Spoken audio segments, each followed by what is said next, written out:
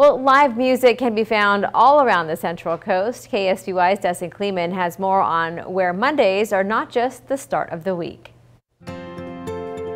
Central Coast Living means there is something to do eight days a week. And this week, we show you how you can enjoy a long weekend every week in Los Osos. Every Monday night, your ears will lead you to music. For the last five years, Mondays haven't been the same. Monday otherwise would be a sad day.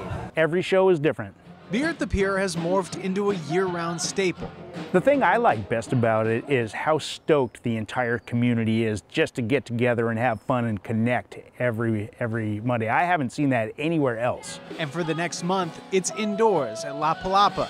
Big Big Slow owner and musician Paul Irving says Beer at the Pier has humble beginnings. Started out with like 12 guys on the side of the patio over here, and now we get two to 400 people out here uh, every Monday for, uh, for a really great time. And there is something to be said about keeping this place a secret. The venue is close quarters, both at the restaurant and outside at the Baywood Pier. I think what we want to try to do is just try to keep it where it is and not grow it much more because the venue is only so big here. I mean, it's a quaint little spot.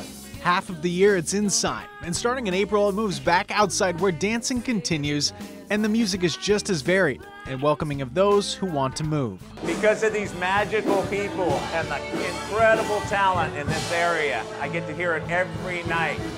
I went back to school, but I refused to quit dancing. We need more people who are moving. Otherwise, you get in that easy chair and it's really a trap. So treat yourself on a Monday. Just only tell your close family and friends about it. Keep it a secret. Keep it a secret. It's a good time. Music is different every week, and there are a number of events coming up. You can find that on KSBY.com. Let's go back to you.